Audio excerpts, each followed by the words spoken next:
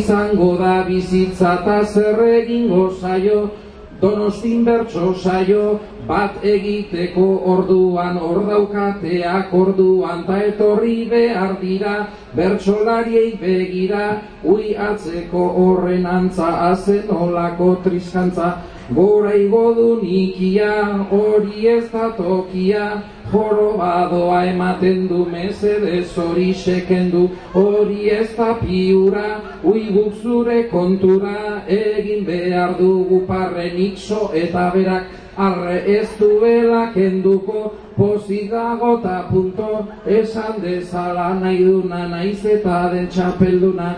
Donostira etorri ta enau jarriko gorri. Ui begiratu usue begiratu bai aizue txano gorri txori da. Jarri zaite begira lehen ez duzuna aipatu. Aipatu behar nun parkatu baina buen ondo segi. Horri igual ordu erdi Baina urrengo bertsoa non utzi duzu otsoa, gau ez irteten alda, hori behar nizun galda, hemen otsoak ez baina bada zenbait alimaina, mozorrotu bantzean, beste batzuk etxean, eta atzetik begira, ez joan ez urrutira, eta etorri honantza, ez dugu egingo dantza, hau zurine amaitzeko igual txaloako beto, Beraz txaloka hasi, baina ni ena hasi, segi astiro, astiro, ta erritmorik ezigo, ni atzo azken portun,